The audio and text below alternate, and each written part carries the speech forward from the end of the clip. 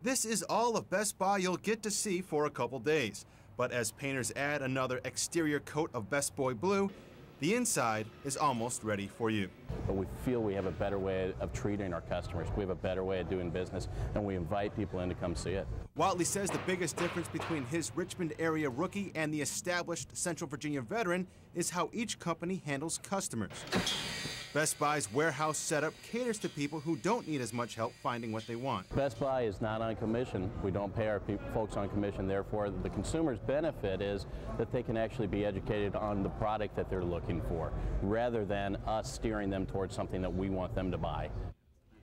Circuit City spokesperson says its hands-on sales technique is exactly what surveyed customers want. Circuit City has its sales counselors on a commission because we want to be able to provide an incentive for those sales counselors to not only educate themselves on the products that we're selling, but also so that they provide high levels of service to the customer.